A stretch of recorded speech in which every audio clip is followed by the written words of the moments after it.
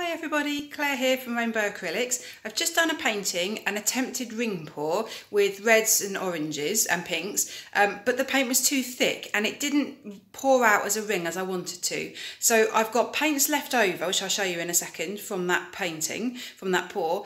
I've just watered them down a little bit. I've taken out the Payne's grey colour and I've added in purple. So just a, a couple of little changes everything's a bit runnier, a bit watered down. Um, I'm going to attempt to do the same again, um, a ring pour, um, but I'm just hoping it will pour better. So I'll show you the paints. So these are my colours. I've got magenta, uh, cadmium red, iridescent orange, gold, iridescent pink, fluorescent orange, and then purple and white.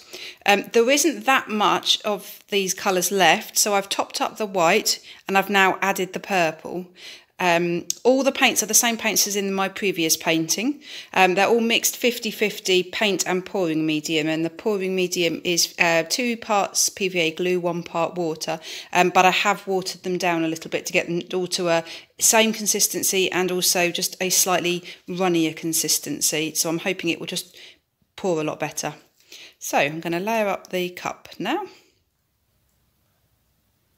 So this is the order I'd like to go with. I'm going to be really daring because I'm putting purple and orange together there and there, pink and gold together, um, fluorescent orange and red together. So really contrasting colours next to each other. It's the purple and the orange that I'm most worried about mixing, um, especially as I've run, run made the colours a little bit runnier. But I'm just going to be bold with it and just and, and go with it. I've split the purple into two cups and I split the white into the two cups so they're going to appear twice.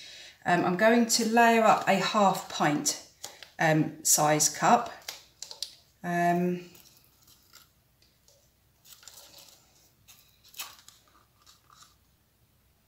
some of them just still feel too thick. Whoops, splash water everywhere.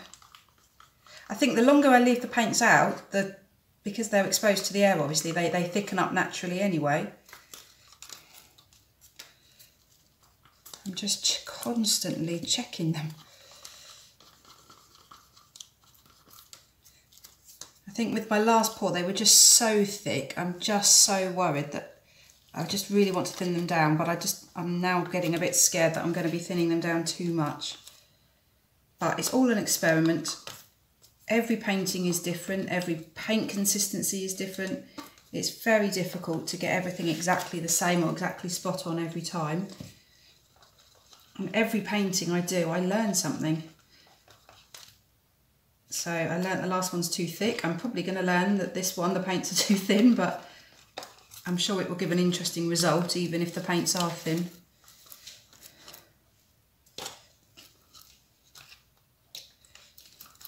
Right, I'm done. That's it. No more watering down. Let's go for it. I'm going to do two layers of paint, so I'm going to aim to pour in about half of what's in the cup each time.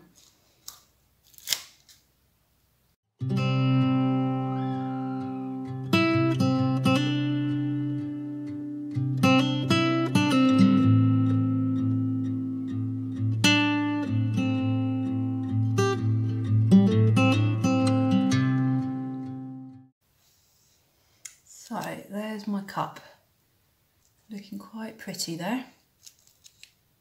Great, so I'm going to get the canvas down next. Right, I'm going to put down a puddle of paint in the centre again. I've just scraped all the paint off the worktop here. I, have put down heavy duty cling film over the top and then I'm actually able just to scrape the paint off there. Um, and I've got a nice, actually a really pretty colour here.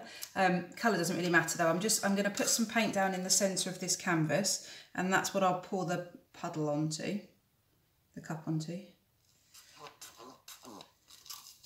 I just try and reuse as much paint as possible. There's so much paint that goes into these pours. And this paint won't be seen at all.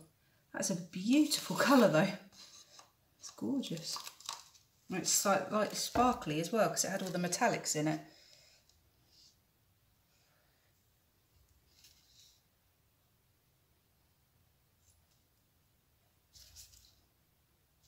So it's got a nice puddle there. Let's just give it a quick torch.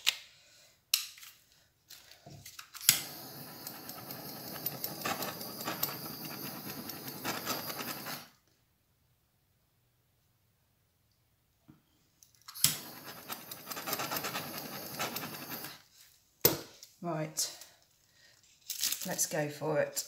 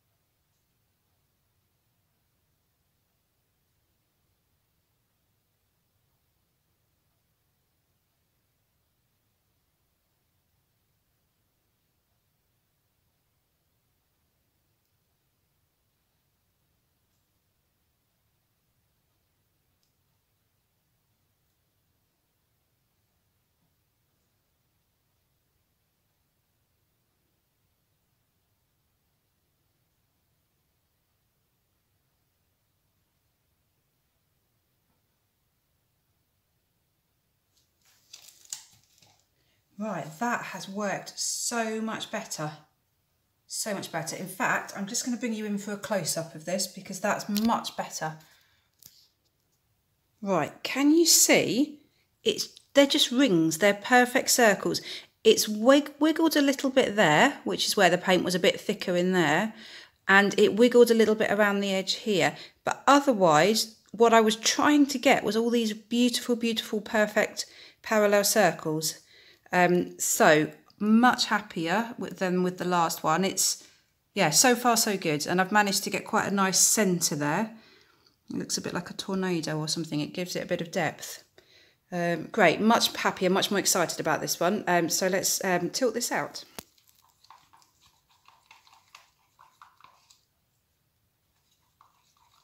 Right, I've just mixed up some leftover paints um, and I've just watered them down.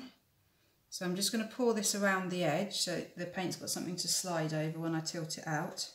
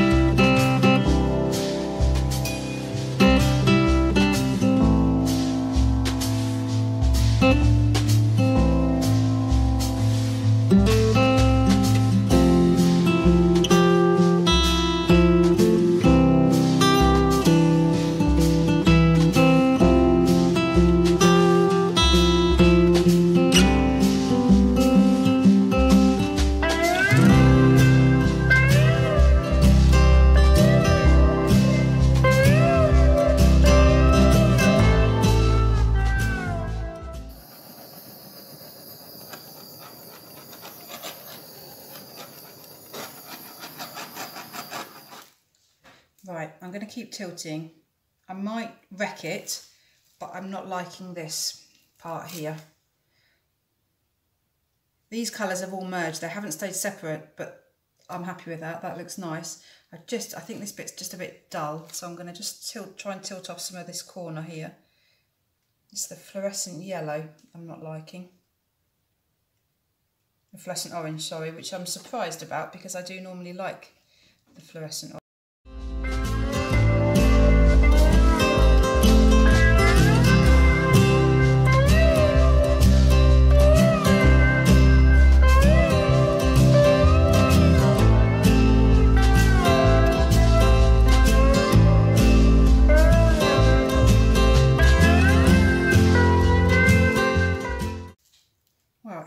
Different. It's opened up around here. I'll show you in a second. The pink has come through a lot more. So the colours have not kept their lines well at all. I wonder if it's not necessarily the paint consistency, but all the air bubbles and all the cells, and they've caused it all to merge. It, regardless, I actually think it looks really sweet. It looks really nice. It's it's there's a lovely gold line. Right, less talking. Let me bring you in to have a look. So it looks really orange in this light. It's not. It's actually red. Um, you can see it's really unusual. So you can see all the lines here, but all the lines, they've kind of all blurred into each other. They're all quite jagged and you can just see the millions, literally millions of cells and um, little air bubbles that have popped.